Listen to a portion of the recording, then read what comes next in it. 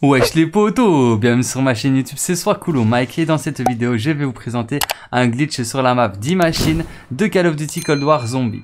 Alors pour réaliser ce glitch, vous aurez besoin du spécialiste couverture éther palier 3.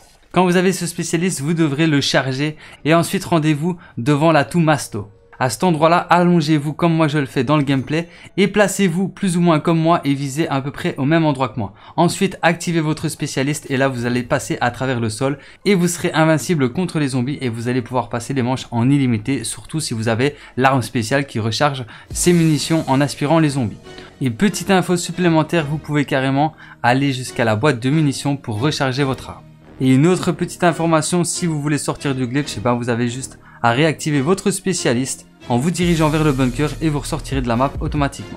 Donc voilà qui termine cette vidéo, j'espère qu'elle vous aura plu, si c'est le cas n'hésitez pas à liker, à partager et à vous abonner si ce n'est pas encore déjà fait. Et sur ce, moi je vous dis à très bientôt pour plus de vidéos, c'était mec et ciao. Peace